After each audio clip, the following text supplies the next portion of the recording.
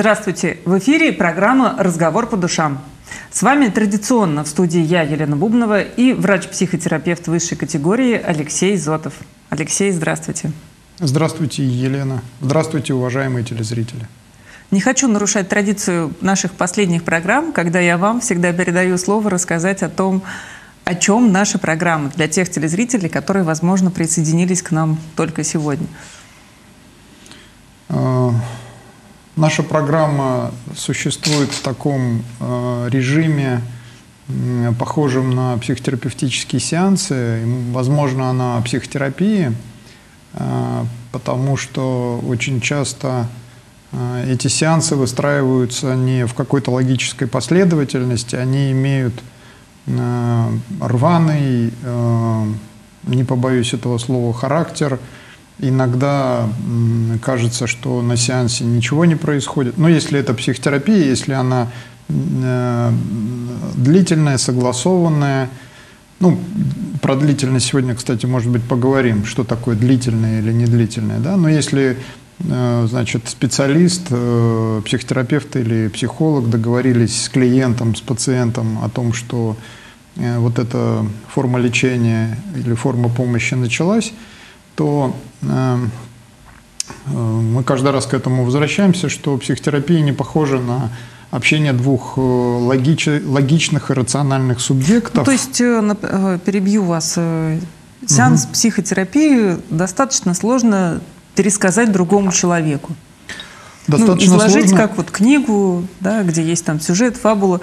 Достаточно сложно, но важно, потому что если мы, специалисты, не будем этого делать, если мы не будем понятны в своем изложении, э, как психотерапия работает или как люди работают внутри психотерапии, ну, слово «работают» можно в кавычки взять, или как происходит лечебный процесс, то, конечно, э, мы и повредим делу, и э, люди, которым, как вы говорите, в первый раз сталкиваются с тем, что такое психотерапия, им будет непонятно, они, соответственно, наверное, не будут обращаться но это такой абсолютно какой-то логичный, естественный, понятный, э, разумный вывод. Поэтому э, действительно это работа, которую не опишешь э, в нескольких предложениях. Вот я попробовал говорить о ней. Она непроста как раз тем, что два человеческих существа собираются, и да, один из них – выученный, э, прошедший свои какие-то психотерапевтические сеансы, свою личную психотерапию, супервизию и так далее. Да? Но э, одно из самых важных, одна из самых важных идей, что ли, наблюдение, это не идея, а вот наблюдение, взятое из практики, что люди не рациональны в большей своей степени, не а, целиком ну, систематизированы и просчитаны. Мы сталкиваемся с чем-то в нас, ну, например, с эмоциями, с какими-то переживаниями, которые не раскладываются по полочкам, которые не начинаются и не заканчиваются по щелчку пальцев. Мы сталкиваемся с мыслями, которые вдруг вторгаются в э, ну, достаточно стройное какое-то пространство. Э, приходит, например, человек на прием и говорит, вот с недавнего времени я стал думать о чем-то, о смерти, например, я стал думать, да, или я стал думать, а, у меня появляются страшные мысли, что я могу на улице ну, вдруг упасть, и мне станет плохо, угу. или что я выйду на, куда-то на публику, и я забуду текст, да, или я там покраснею, или еще что со мной что-то случится, да, я этого боюсь и так далее. Да? То есть вот ну, некое количество э, вот этих мыслей, этих переживаний. И по традиции э, большинство встреч с этого начинаются. По традиции люди стараются ну, как-то вымести эти мысли, эти переживания, избавиться, вытолкнуть из своего э, сознания, из своего такого внутреннего пространства, да, что значит вытолкнуть? Не думать, переключиться, успокоиться, э, перевести внимание на что-то, ну, переключиться, угу. да, как я сказал. Э, и обычно э, это не получается. Или точнее так, когда это получается, пока это получается, человек не приходит. Так бывает. Человек в течение э, потом рассказывает, ну, я как-то 2-3 года старался об этом не думать, и, в общем, у меня более-менее получалось. Ну, или там э, женщина говорит, пока я была занята маленьким ребенком родившимся, я вот там о чем-то не думала, да, когда он вырос, э, вдруг эти мысли, с, с ними стало сложно справляться, да, с какими-то. И вот, в общем, мы отправляемся в эту э, на эту территорию этих переживаний и мыслей, да, а, ну, При... у нас здесь такой, конечно, импровизированный сеанс психотерапии. Он не, не, не столько сеанс, но у нас же нет ну, здесь э, пациента и терапевта. Да, да, я вот. имел в виду, что по э, сути, я прошу прощения, что я вторгся, уже закончу мысль, э, по сути э, происходящего, по тому, как наша коммуникация не заранее логически выстроена с вами, то есть у нас нет сценария, и, кажется, наши Э, зрители, те, кто уже не первый раз смотрят, знают об этом. Она вот ну, как-то берется из звонков, э, содержимое для коммуникации, да, из э, моего какого-то опыта, из вашего. Вот, вот что я хотел сказать. И в этом смысле она, конечно, похожа на не на асфальтированную дорогу, она вот что-то такое, лесочек какой-то. Да. Угу. А, о чем мы сегодня поговорим? Вы упомянули длительность психотерапии. Или, может быть, у вас есть какая-то интересная история? Я всегда с удовольствием их слушаю, когда вы приносите ну, я понимаю, не, не всегда возможно буквально эти истории из кабинета. Ну, Но вот, они обычно не буквальные, они всегда да, не буквальные. что-то такое из жизни, и не знаю, как наши телезрители, но у меня очень часто откликается, я нахожу что-то свое в ваших историях. Ну, сп спасибо за такой анонс. Я сейчас подумаю, может быть, к какой-то истории подойду, потому что то, о чем я хотел сегодня сказать, э, ну, какие-то мысли у меня есть, да, какие-то заготовки, они базируются на истории. Может быть, с историей к нам, а, с какой-то сегодня кто-то из вас позвонит, уважаемые телезрители, мы, соответственно, об этом поговорим. Да, телефон в студии 202 11 22. Звоните, у нас прямой эфир. Мы готовы поговорить с вами, выслушать вашу историю, ответить на ваши вопросы. У меня скорее не история, а такой э, момент, нюанс, особенность. Э, периодически так бывает. Э, мы сейчас говорим о частной, о платной психотерапии, я говорю, да, то есть не о той психотерапии, которая осуществляется в бюджетных учреждениях, где человек приходит и э, эта встреча оплачена государством, да, или из его налогов. Ну, полис УМС. Да, да. полис УМС. А, я говорю сейчас о частной психотерапии, где человек, и ее больше сейчас, удельный вес ее больше. И, судя по всему, мы э, двигаемся в эту сторону, где этой психотерапии будет в, удельном смысле, на мой взгляд, все больше. Хорошо это или плохо, оставим за кадром, это отдельный разговор. Я думаю, что, ну, знаю, что здесь есть и за, и против. Но я вот о чем о таком нюансе, когда э, за эту психотерапию или эту психотерапию оплачивает не тот человек, который приходит на нее. Ну, например, родители платят э, за, за ребенка. взрослого, возможно, даже Достаточно работающего. Да, ну, например, да, их, э, вот опять классическая для моей, моей практики сейчас, ну, не классическая, а частая ситуация, где на прием приходит э, э, молодой человек или молодая девушка, студентка или студент, вот, и оплату встреч в нашем центре производят родители. И периодически, а на начальных этапах этот вопрос обычно возникает – ну или там два вопроса. Родители спрашивают, как долго мне как придется дол- платить? Как долго, да, как долго мне придется платить. И э, идея здесь, ну здесь несколько идей, которые вот этот, этот вопрос готовят, да, ну так мы думаем, почему родители такой вопрос задают. Ну понятно, раз это оплачивается, значит у этого должны быть какие-то очертания, во-первых. Во-вторых, э, вероятно, есть какой-то курс, ну, э, мы смотрим по похожести, мы идем в любое другое медицинское учреждение, там всегда есть курс. Ну, такой... Ну, не знаю, там массаж 10 раз, например. Там, антибиотики, да? антибиотики, да, санаторий 21 2, день. 21 день. Антибиотики там 2 недели или там как минимум столько-то, да, таких-то процедур столько-то. Вот. И э, в этом смысле уже достаточно давно посчитано и уложено в Э, в рамки финансирования вот это какое-то количество процедур, которые помогают при тех или иных э, заболеваниях, расстройствах телесных. Да? Э, неврологию я тоже сюда отношу, потому что нервная система – это материальный субстрат, как мы говорим, это тело, это все еще тело. Да? И тут возникают проблемы. Первое, психику сложно уложить. Можно, и до сих пор люди пытаются, и, скорее всего, нас тоже это ждет, да, где есть какое-то количество встреч, ну, условно говоря, там, краткосрочная или там, среднесрочная психотерапия при таком-то расстройстве, при каких-нибудь фобических нарушениях, которые вот, ну, там, за 20 сеансов, за 25 мы должны справиться. И э, такой вопрос по аналогии есть, как долго будет длиться психотерапия.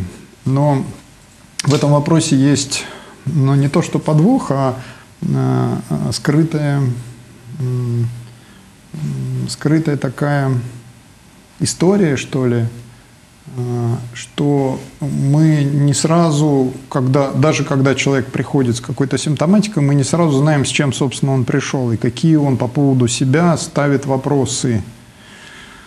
Э, попробую упростить. Э, когда человек приходит на первый сеанс, рассказывает о себе, говорит, я хочу избавиться от страха, и дальше он задает вопрос, мои родители спрашивают, сколько это будет длиться, угу. то на этот вопрос э, до тех пор нет даже приблизительного ответа, пока э, ну, избавление от страха это же не замена микросхемы, вот мы о чем говорим, да, это же не э, такая процедура, где мы из головы человека изъяли страх – и на это место что-то поставили или зашили и так далее. Да? А, страх каким-то образом или переживания, связанные с ним, а, вписаны в картину мира этого парня или девушки. Он как-то понимает или не понимает свои вот переживания. Интересно, да, я перебью тоже в свою очередь вас э, Приходит молодой человек и говорит, вот мои родители спрашивают, сколько мне надо будет э, лечиться, я хочу избавиться от страха. Но ведь в этом же вопросе уже заложен его некий страх, э, что он ну, не знаю, не сможет быть хорошим сыном и вылечиться достаточно быстро и не быть в тягость для, для своих родителей вот в этом финансовом плане. То есть это как будто бы такой дополнительный груз для вот, сеансов психотерапии. Вы очень верно заметили, и в этой ситуации мы можем говорить о том, что заказчиков психотерапии, ну, у нас есть такое слово, да, заказчик, оно как-то э, вошло в лексикон, может быть, оно не очень удачное, но, в принципе, э, принятое сейчас. Заказчиков психотерапии, там, где пришел один человек, по большому счету не один – а два или три. Ну, например, этот э, человек, этот, ну, пусть это будет молодой человек, и два его родителя. Угу. Кто-то из них отдельно ли платит, или они из совместного бюджета это как-то выделяют, или они ему как-то помогают. Это уже немножко так нюансы. Но дело еще в том, что человек, который платит, он же тоже как-то для себя представляет результаты того, что ну, он хочет какие-то есть, конечно. получить. И тут тогда ваш вопрос очень э, в точку и очень интересный, потому что э, э, возникает фигура, не похожая на прямую соединяющую две точки, ну, то есть есть специалист есть э, пациент в кабинете, да, а там еще несколько скрытых фигур, о них бы неплохо знать. Потому что родители что-то ждут. Они ждут не просто окончания. У меня нарисовалась картинка. Да. Вот сидит специалист, э, сзади стоит э, родитель, и эта фигура, это не прямая, это такой вот, такая линия, огибающая э, пациента, и получается знак вопроса.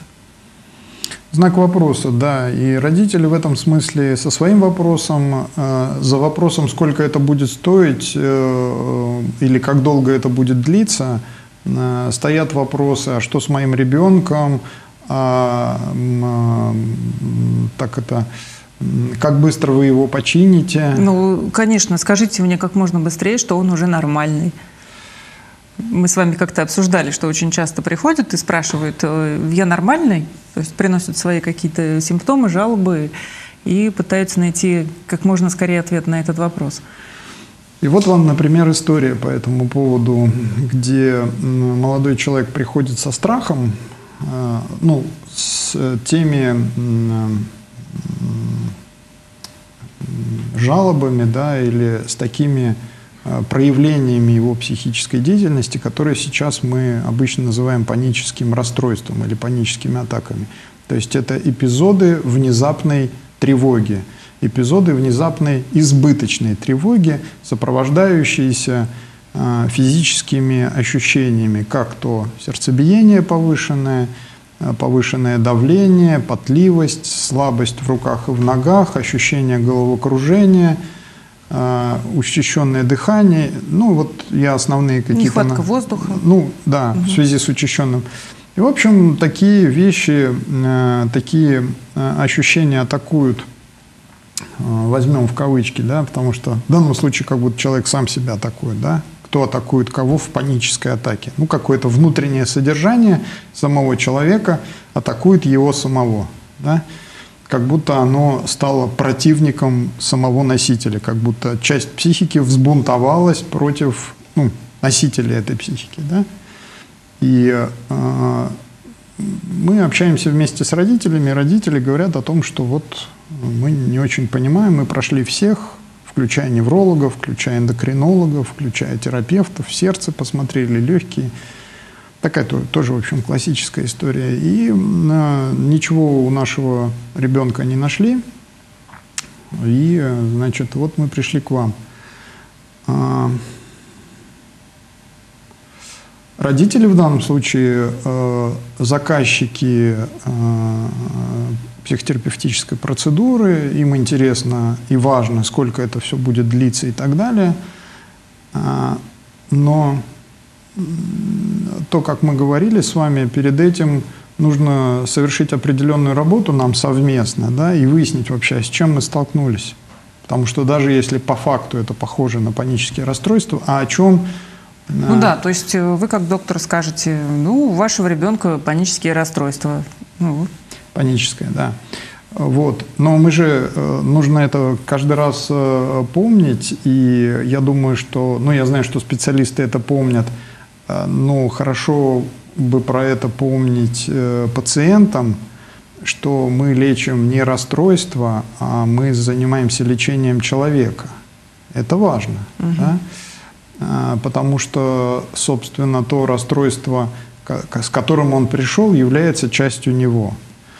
И вот мы выясняем, э, когда родители на время выходят из кабинета, оставляя нас один на один, мы выясняем, что ну, в общем, э, у парня такая ситуация, где э, э, с его, скажем так, ближайшем будущем у родителей очень много ожиданий, что он должен сделать несколько важных моментов. То он, есть они общем, уже продумали его жизнь и, ну, ну предполагаю, контролируют, чтобы он придерживался этого плана.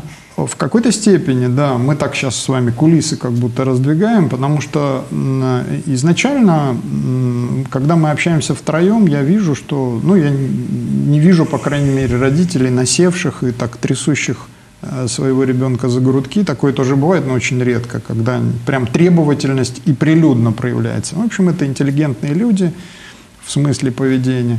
Но потом, когда мы остаемся один на один, э, я узнаю, что молодому человеку нужно сделать несколько, за этот год несколько важных вещей, э, с которыми он формально соглашается, э, и он говорит, что я в принципе могу их не делать, но каждый раз, когда мы говорим, а что будет, когда ты, если вы не будете, я на вы всегда общаюсь, если вы не сделаете то-то, то-то, Ну вот мы так или иначе приходим к родителям.